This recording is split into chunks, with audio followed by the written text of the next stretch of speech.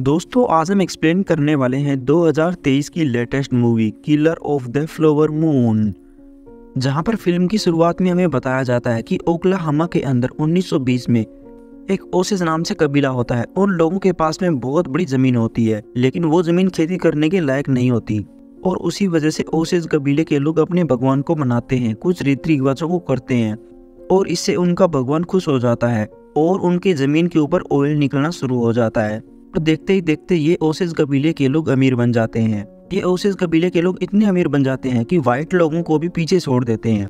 और अब हर जगह इन लोगों की कदर होने लगती है। कोई भी फ़ंक्शन हो, इन लोगों को ज़रूर इनवाइट किया जाता है।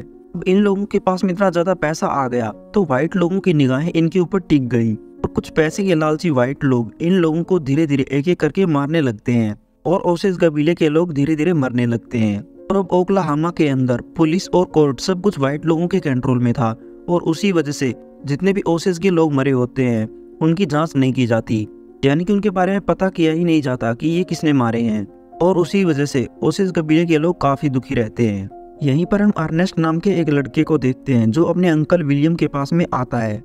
अर्नेस्ट पहले सेना के अंदर काम किया करता था और अब वह ओकलाहोमा के अंदर अपने अंकल के पास में आया है। उसका अंकल बोलता है कि मैंने तुम्हें किसी खास काम के लिए बुलाया है। और उसका अंकल यहाँ पर उसे एक ड्राइवर की नौकरी दे देता है। और अब विलियम यहाँ पर ड्राइविंग का काम करता है। ओसिस कबीले के अंदर एक लड़की होती है, जिसका मोली नाम होता है। और अर्नेस्ट डैडी उसी लड़की को अपनी गाड़ी में बिठाकर घर पे छोड़ के आता है। और इस तरह अर्नेस्ट को मोली से प्यार हो जाता है। मोली का बहुत बड़ा परिवार होता है, जिसमें उसकी मोम लिजी और उसकी तीन बहनें होती हैं। साथ में हमें यहाँ पर यह भी पता चलता है कि यहाँ पर ओसिस कबीले के लोगों के साथ में व्हाइट लोग शादी कर लेते हैं। अब अर्नेस्ट और मोली भी एक दूसरे के करीब आते हैं। अर्नेस्ट मोली को शादी के लिए प्रपोज करता है, लेकिन मोली अर्नेस्ट की बात का जवाब नहीं देती। मोली की एक बहन भी होती है जिसका मिनी नाम होता है। विलियम उसके पास में आता है। दरअसल मिनी को डायबिटीज़ की बीमारी होती है और विलियम मिनी को बताता है कि मैं तुम्हें मरने नहीं दूँगा। चाहे कितने भी बड़े डॉक्टर से तुम्हारा इलाज करवाना पड़े। दरअसल विलियम यहाँ पर ओसेज कबीले के लोगों के लिए मसीहा है, क्योंकि वह ओसेज कबीले के लिए बहुत कुछ करता है। इसी दौरान अर्नेस्ट और विलियम भी एक दूसरे से शादी कर लेते हैं। ये दोनों अब खुशी खुशी रहने लगते हैं। लेकिन इनकी शादी के कुछ ही दिन बाद, यहाँ पर मोली की जो बहन थी जिसका मिनी नाम था, वो मर जाती है। और किसी को नहीं पता होता कि मिनी की मृत्यु कैसे हुई है। यहाँ पर मोली की एक और बहन होती है जिसका ऐना नाम होता है, जो बहुत ज़्यादा ड्रिंक करती है। विलियम यहाँ पर अर्नेस्ट को बताता है कि जो मिनी मारी गई है, उसकी सारी संपत्ति अब उसके हस्बैंड के नाम पर हो गई है। अब हम कुछ दिनों बाद उसके हस्बैंड को भी मार देंगे। और फिर उनकी सारी संपत्ति मोली के नाम पर हो जाएगी। और हम फिर चुपके से मोली को भी मार देंगे, और फिर उसकी सारी संपत्ति तुम्हारे नाम पर हो जाएगी। और इस तरह हम यहाँ पर काम करते हैं। मैं चाहता हूँ कि तुम बहुत जल्द अमीर बन जाओ। तो अर्नेस्ट इस चीज़ के लिए राज़ी हो जाता है, क्योंकि वह पैसों का बहुत बड़ा लालची होता है। तो शादी के कुछ ही दिनों बाद मोली को भी एक बेबी हो जाता है, और काफ़ी टाइम तक मोली अपनी मोम और अपने हस्बैंड के साथ में रह काफ़ी खुश होती है। यहाँ पर अर्नेस्ट का एक भाई भी होता है, जिसका बायरन नाम होता है। और वह एना का हस्बैंड होता है। और एक दिन एना अपनी मोम से मिलकर बायरन के साथ अपने घर पर जा रही थी। और तभी अगली सुबह मोली को खबर मिलती है कि उसकी बहन की मृत्यु हो चुकी है। इस बात से मोली बहुत ज़्यादा टूट जाती है। क्योंकि एक ही करके उसकी बहनों की मृत्यु हो रही थी, लेकिन यह मर्डर कर कौन रहा था, इस बारे में किसी को नहीं पता था। इसीलिए ओसिस लोगों की एक मीटिंग होती है, जिसमें फैसला लिया जाता है कि हमें उस इंसान को पकड़ना होगा, जो हमारे कबीले के लोगों को मार रहा है। ओसिस लोगों के कबीले का मुखिया यहाँ पर एक हज़ार डॉलर का इनाम भी रखता है। यहाँ पर विलियम भी होता है। वह बोलता है कि मैं भी तुम लोगों की मदद करना चाहता हूँ और मैं दो हज़ार डॉलर का इनाम रखता हूँ, जो भी मुझे मर्डर से जुड़े हुए सबूत लाकर देगा या मुझे मारने वाले का नाम बताएगा, मैं उसे दो हज़ार डॉलर दूँगा। और इस तरह से ये लोग फिर से अपने काम पर लग जाते हैं। ओसिस कबीले के लोग एक डिटेक्टिव को हायर करते हैं ताकि वह इस केस को सुलझा सके। लेकिन यहाँ पर विलियम के लोग उस डिटेक्टिव को ही गोली मार देते हैं, जिससे वह भी मर जाता है। और मोली को भी पता चल जाता है कि शायद कोई हमारी तहकीकात को रुकवाना चाहता है। अब मोली मदद के लिए जिन जिन लोगों के पास में जाती, अर्नेस्ट भी उसके साथ जाता और अर्नेस्ट ये सारी बातें विलियम को बताता रहता और विलियम अपने बचाव के लिए कोई ना कोई कदम उठा लेता था। इधर अर्नेस्ट भी ब्लैकी नाम के एक आदमी को हायर करता है और उसको बताता है तो मोली की बहन रेटा को मार दो, साथ ही साथ उसके हस्बैंड बिल स्मिथ को भी खत्म कर देना। से उन दोनों की सारी संपत्ति मेरी पत्नी मोली के नाम पर आ जाएगी। तो ब्लैकी बोलता है कि बदले में तुम मुझे क्या दोगे? तो यहाँ पर अर्नेस्ट बोलता है कि तुम मेरी गाड़ी चुरा कर भाग जाना, वो गाड़ी तुम्हारी रहेगी।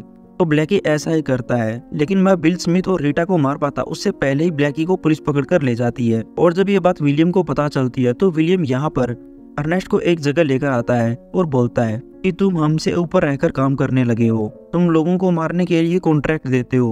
तो अर्नेस्ट इस चीज़ के लिए अपने अंकल विलियम से माफ़ी माँगता है, लेकिन उसका अंकल विलियम यहाँ पर अर्नेस्ट को बहुत मारता है। और कहता है कि तुम्हारा एक गलत कदम हम सभी को फंसवा सकता है, इसीलिए जैसा जैसा मैं कहता हूँ तुम वैसा ही किया करो। बिल स्मिथ और मोली की बहन रीटा को मैं मरवा दूँगा। तब अर्नेस्ट बोलता है कि ठीक है, जैसा आप कहोगे मैं वैसा करूँगा।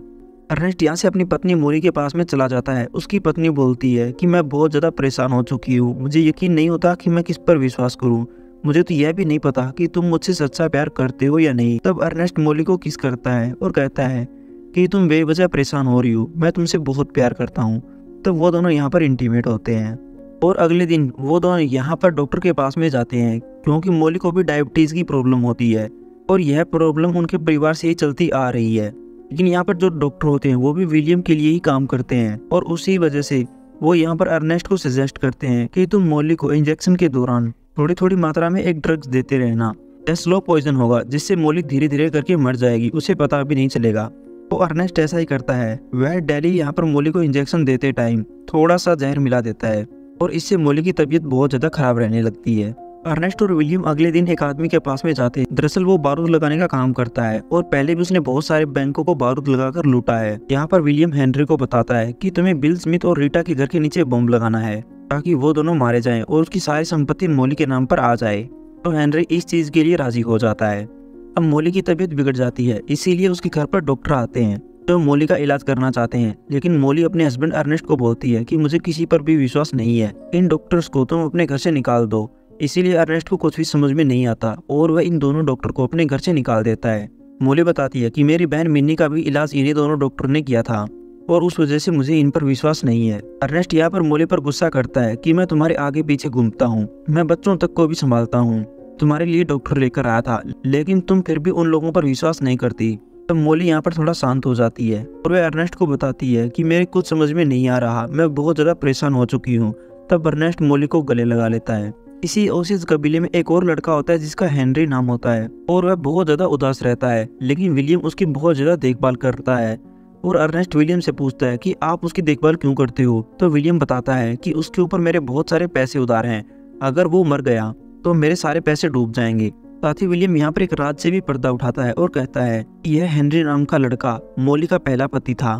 तो अर्नेस्ट बोलता है कि यह बात आपने मुझे पहले क्यों नहीं बताई? विलियम बोलता है कि अभी तक उन लोगों का तलाक नहीं हुआ है। यानी कि लीगल तरीके से वह अभी भी उसी का हस्बैंड है। तो अर्नेस्ट को समझ में आ जाता है। मोली के पास जितनी भी संपत्ति होगी, उसके ऊपर उसके हस्बैंड हेनरी का भी हक होगा। इसीलिए मोली जल्दबाजी में फैसले लेने लगता है और वह जून नाम के एक आदमी को हायर करता है, जो लोगों को मारने का काम करता है। और यह बात वह विलियम को भी बोलता है कि हेनरी को मारने का यही सही मौका है, क्योंकि हेनरी उदास रहता है और उसने पिछले साल खुद की जान लेने की भी कोशिश की थी।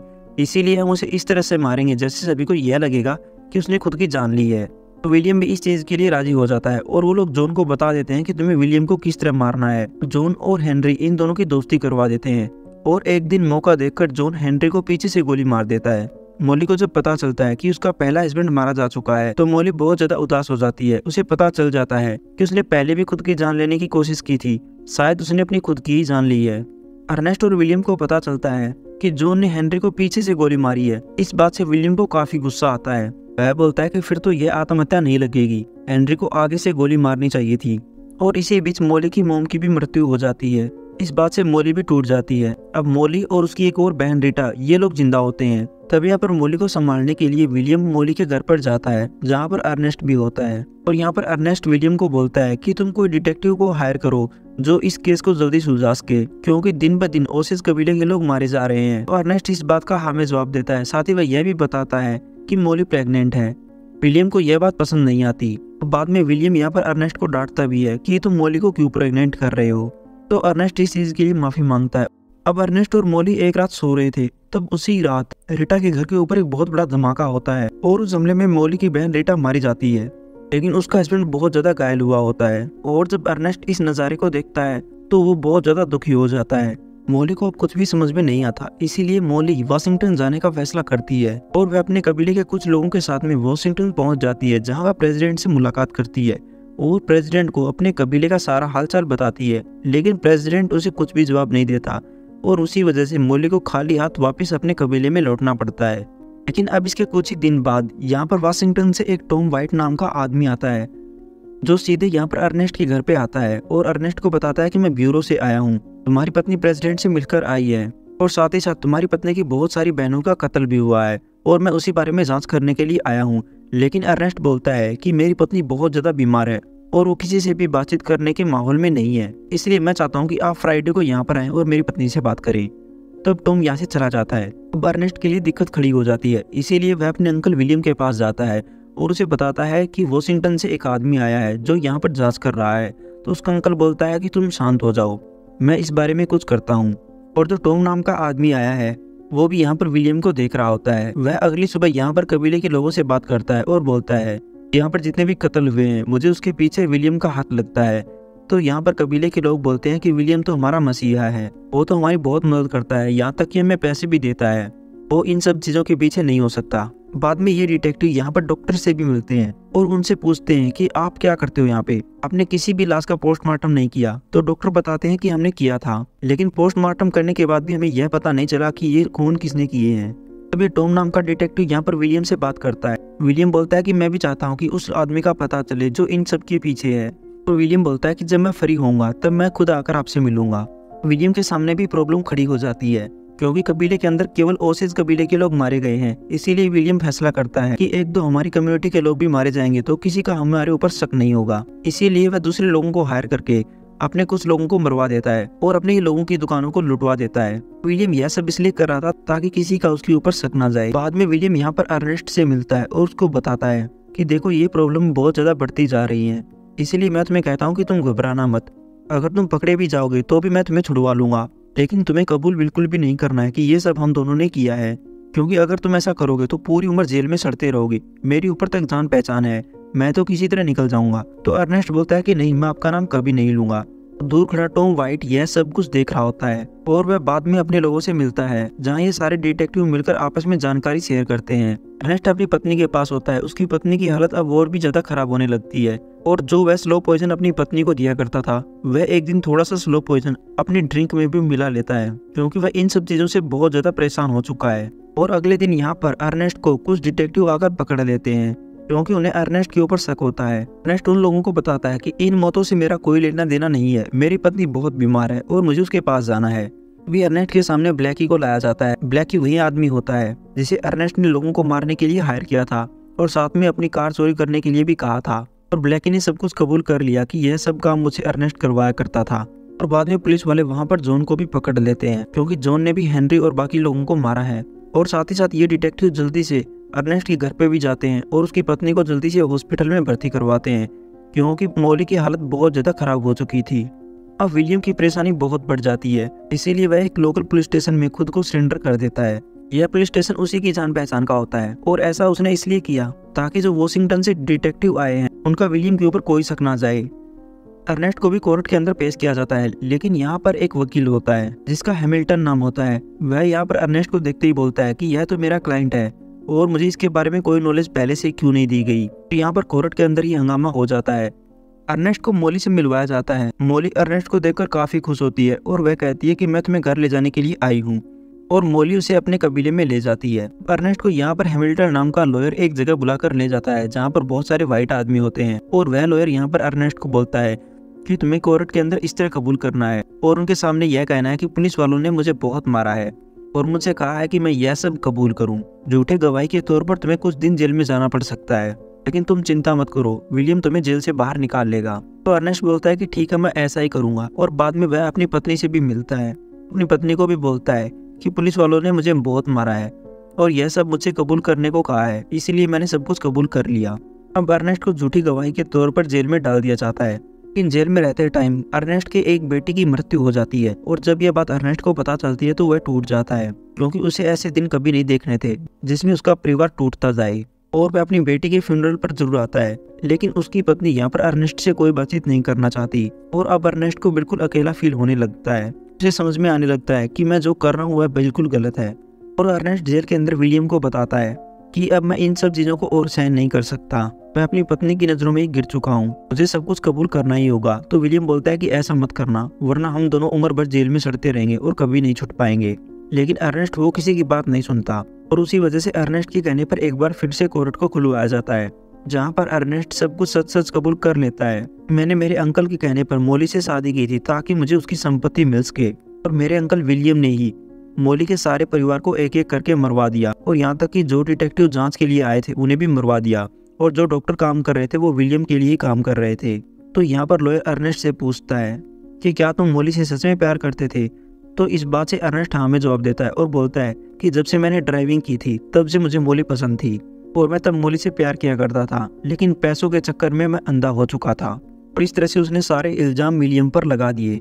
मोली यहाँ पर अर्नेस्ट से मिलती है और उससे पूछती है जो तुम मुझे दवाई दिया करते थे, क्या वो सच में दवाई थी या जहर था? तो अर्नेस्ट यहाँ पर झूठ बोल देता है और कहता है कि वो सिर्फ़ दवाई थी और उसी वजह से मोली यहाँ से उठ खड़ी होती है और यहाँ से चली जाती है और बाद में इन सारी हत्याओं की वजह को एक रेडियो के ऊपर प्रसारित किया जाता है, जिसमें सारी लाशों के ऊपर से पर्दा उठाया जाता है और बताया जाता है कि यह सब विलियम ने प्लान किया था, ताकि वह ओसिस लोगों के बीच में रहकर उनका दिल जीत सके और अपने परिवार वालों की, ओसिस के परिवार वालों के साथ में शादी करवा दे। और फिर उन्हें मार दे और उनकी संपत्ति को खुद हड़प ले। साथ में यह भी बताया जाता है कि अर्नेस्ट से मोली की शादी टूटने के बाद उसने एक और शादी कर ली, लेकिन 50 साल की उम्र में मोली की भी मृत्यु हो गई, लेकिन यह मृत्यु प्राकृतिक थी। और मोली की लाश को भी उसकी बहनों और उसकी माँ के साथ में दफना दिया जाता है। और आखिर में हम ओसिस कबीले को देखते हैं, जो अपने रीति रिवाजों को मना रहे होते हैं। और इसी के साथ में यह बेहतरीन मूवी यहीं पर पूरी हो जाती है। आई होप आप सभी को एक्सप्लेनेशन पसंद आई होगी। दोस्तों, हम आपसे मुलाकात करते हैं और भी लेटेस्ट मूवीज़ के साथ। तब तक खुश रहें और अपना ख्याल रखें। Thank you for watching